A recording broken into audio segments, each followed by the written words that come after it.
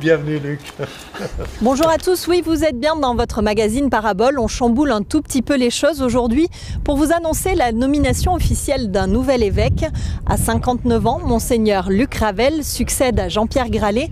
Il devient ainsi le 106e évêque de Strasbourg. Sachez que nous consacrerons notre prochain magazine à ces deux hommes et pour l'heure, je vous laisse en compagnie de Marc Jonas pour reprendre le cours normal de notre émission. Bonjour, bienvenue dans votre magazine Parabole. Pour commencer ce numéro, nous allons nous rendre à la prison d'Ensisheim dans le Haut-Rhin. C'est ce qu'on appelle une maison euh, centrale où les détenus purgent généralement de longues peines. Souvent, leurs familles habitent loin, mais heureusement, elles peuvent compter sur euh, l'association Oasis qui leur propose un hébergement, mais pas seulement. Reportage. Cette femme a 45 ans et habite en région parisienne. Mais, depuis cinq mois, elle passe certains week-ends dans une petite maison à Ensisheim. Nous l'appellerons Romane. Ben, vu le trajet que j'ai à faire, financièrement, ça aurait été trop dur hôtel et tout. Et là, c'est super parce qu'il n'y a pas grand-chose à payer. Quoi. Et il y a quand même euh, des gens super qui sont là pour nous quand même. Et euh, c'est important.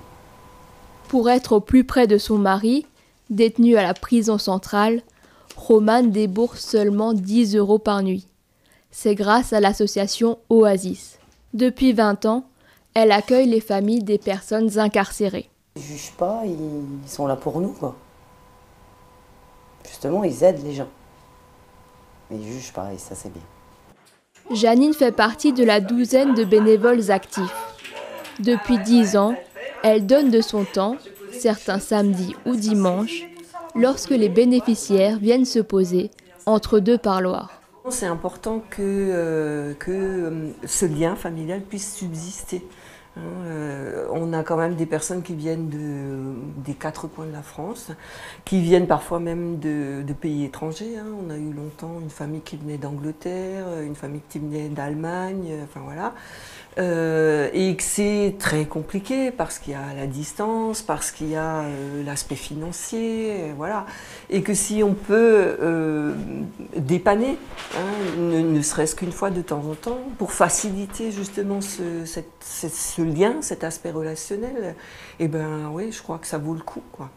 Le président de l'association s'étonne toujours de la force des proches de détenus. Et ce qui est frappant, c'est le courage, la détermination. Bon, souvent, c'est des femmes euh, qui viennent euh, d'années, enfin, de, sur, sur 5 ans, 10 ans, 15 ans, et qui restent, qui restent déterminées, qui restent solides à côté de leur, euh, de leur conjoint, qui d'ailleurs ne se rend pas toujours compte de l'effort qui est fait par les personnes qui viennent le voir. Parce que le, détenu, pour une visite, lui, il sort de sa cellule, il fait quelques centaines de mètres et il arrive au parloir, alors que la, que la famille ou les, femmes, etc., euh, ont, parcouru des centaines de kilomètres, etc. Et, donc le, parcours des uns et des autres n'est pas pareil. Quoi. Roman trouve sa démarche tout à fait naturelle. Bah, comme on se dit, c'est sa moitié qui est, qui est enfermée, bah, bah, on suit, quoi. Puis c'est tellement fort que, ouais. Cette autre femme de détenue habite près de Mulhouse. Elle ne dort pas dans l'un des trois couchages disponibles, mais elle a trouvé dans cette maison un lieu accueillant pour déjeuner. Oui, c'est un plus parce qu'on n'est pas dehors, euh, on est, ben, ils sont là, ils nous écoutent hein, quand euh, voilà. Maintenant, ça se, passe mal, ça passe mal à la prison, ben, on va leur dire, oh, les surveillants ont fait des manières, euh, elles sont là pour nous écouter sans juger les personnes. Le directeur de la prison centrale d'Ensisheim soutient l'action d'Oasis. On a des détenus qui sont originaires de toute la France et euh, le maintien des liens familiaux est un, est un critère principal dans euh, l'action de réinsertion. Donc euh, l'action d'Oasis à cet égard est très importante puisqu'ils apportent un peu d'écoute et d'humanité dans le maintien de ce lien et la facilitation de ce lien euh, familial. Dans cette prison, 190 hommes sont détenus, souvent pour de longues peines, et un quart d'entre eux reçoit des visites. On est un établissement pour peine où les gens sont, condamnés tous, hein, donc les visites sont euh, uniquement réalisées le week-end et les jours fériés. Le matin et l'après-midi, le parloir dure euh, une heure et demie et Il y a également la possibilité de réserver des salons familiaux. Ce qu'on appelle des salons familiaux, ce sont des, petits appartements dans lesquels euh, les familles, en toute intimité, euh, peuvent être avec leur, euh, leur, personne incarcérée de, de, leur famille pendant trois heures et demie. Bientôt, la petite maison sera détruite. L'association cherche un nouveau lieu pour accueillir les familles. Très bien, ben, l'appel est lancé. Pour le prochain sujet, nous allons traverser la Méditerranée et vous parler des chrétiens d'Irak. Ils sont dans une situation euh, terrible et pour en rendre compte, nous avons recueilli le témoignage de Grégoire. Il est étudiant et s'y est rendu dernièrement. On regarde. Je, suis étudiant à Strasbourg, à Sciences Po Strasbourg. Je, je vais passer en deuxième année. Je suis allé en Irak dix jours en avril avec le père euh, Rodolphe Vigneron. L'histoire a commencé quand il est intervenu dans mon lycée il y a un an un peu plus d'un an, et euh, pour nous parler de ce qu'il faisait en Irak depuis 20 ans, à savoir rencontrer des chrétiens euh, en Irak, au Liban, en Jordanie. Euh. À 21 ans, Grégoire apprend l'arabe et se rêve diplomate. J'étais là-bas que 10 jours, donc j'ai pas participé activement là-bas à une action concrète. J'étais surtout là bah, pour moi, pour découvrir le pays, la situation, pour me rendre compte par, ce qui est déjà bien par, avec mes propres yeux. Le père Rodolphe Vigneron se rend presque tous les deux ans auprès des chrétiens d'Irak. Mais depuis 2014, tout a changé. De voyage en voyage, j'ai vu la situation s'empirer jusqu'à arriver au drame d'aujourd'hui où la désespérance des chrétiens est grande. Parce que ça fait maintenant deux ans euh, qu'ils ont été chassés par Daesh et qui vivent entassés au nord, dans le Kurdistan irakien. Au début, ils espéraient qu'au bout de quelques mois, ils pourraient retourner chez eux. Et voilà qu'au bout de deux ans, ben, leur village, ni la ville de Mossoul, en tout cas au jour d'aujourd'hui, ne sont toujours pas encore libérés de Daesh. Et donc, ils ne savent plus quoi faire avec leur enfant. Où est-ce qu'on va construire notre avenir? Attendre encore? Mais est-ce que ça sera sûr après? Ou aller à l'étranger? Mais dans quel pays? C'est terrible de vivre des situations comme ça, de ne pas savoir de quoi sera fait le lendemain. Avec l'arrivée de Daesh, les chrétiens ont été mis face à un ultimatum. Se convertir, partir ou mourir. 130 000 d'entre eux ont été déplacés par la force. Ben, la situation est très critique pour ces gens parce que là, dans le Kurdistan irakien tout au nord, d'abord ils n'ont pas plus de maison, ils vivent dans des conditions humanitaires très délicates et difficiles, ils n'ont pas de travail, ils vivent que de l'aide des églises et des organismes humanitaires alors que leurs maisons ont été détruites, les réfugiés gardent toujours l'espoir d'un retour vers leur région natale.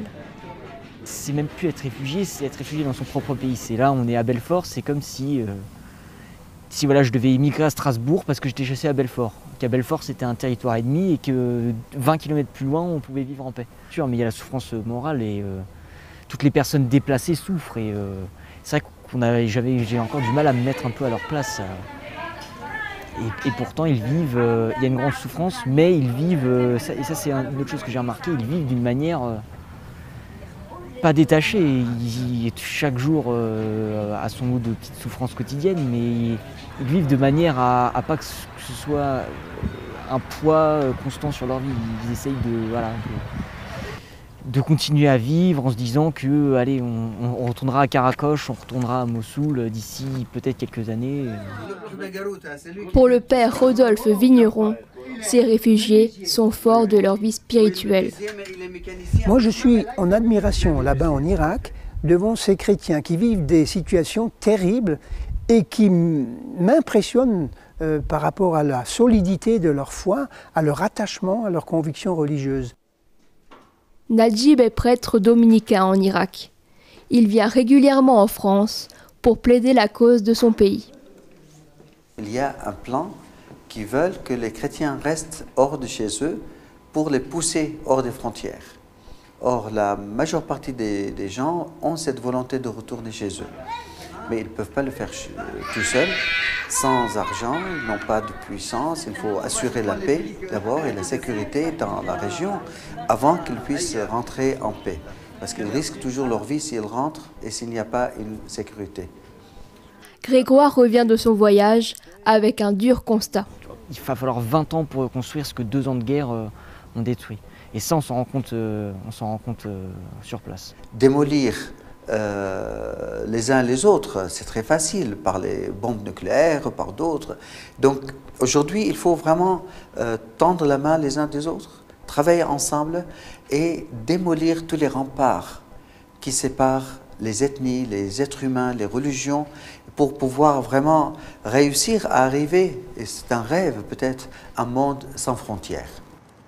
Najib retourne auprès des siens, convaincu que la paix est la seule issue possible. Pour terminer ce magazine, nous vous proposons une nouvelle série. Vous savez que 2017, c'est l'année des 500 ans de la réforme protestante. Nous allons vous faire découvrir différents lieux qui ont marqué euh, leur histoire. Aujourd'hui, nous allons au Temple Neuf, au cœur de Strasbourg. On regarde.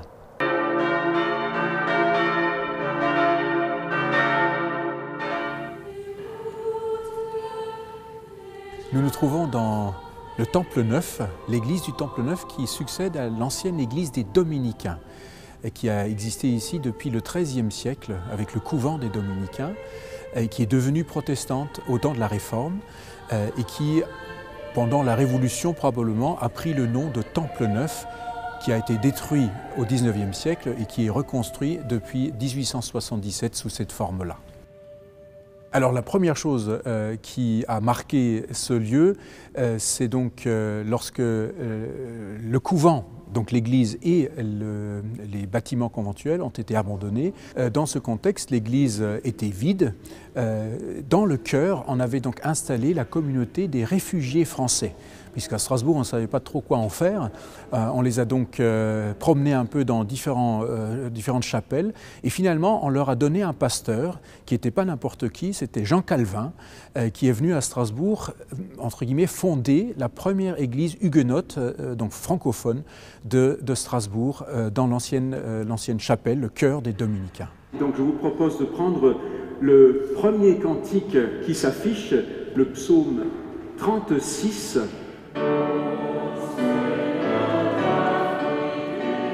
Si donc aujourd'hui il y a une paroisse protestante du Temple Neuf, c'est parce que la, paroisse de la cathédrale est passée à la réforme en 1523. Elle est donc devenue la première paroisse protestante de Strasbourg.